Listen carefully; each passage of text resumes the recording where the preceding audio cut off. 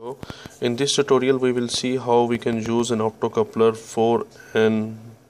4N26 or 37 for detecting the peak of the for detecting the polarity of the AC waveform. So this is a 6 pin uh, optocoupler with one first pin not connected. On between 2 and 3 we have to give uh, the AC power supply uh, via a step down transformer.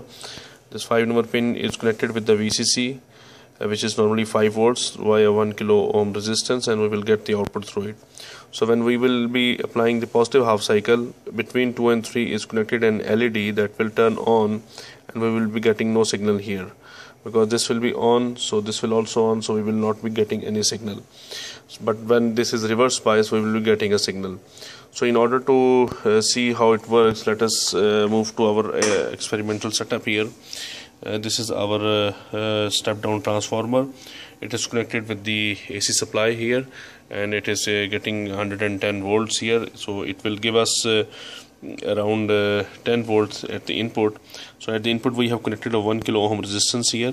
We have uh, connected our oscilloscope probe on the negative and the positive side. And on the secondary side we are having this uh, biasing voltage via a resistance connected with the pin number uh, 5 and on the pin number 4 is the ground.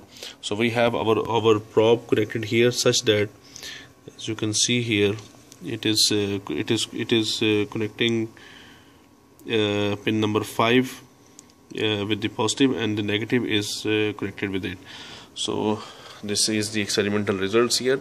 As you can see here on channel number 2 uh, we are having a, a 3.91 volt RMS and you can see whenever there is a positive uh, half cycle we have uh, 0 volt for the negative half cycle we are getting the 1 so in this way we can detect the AC polarity using an optocoupler thank you very much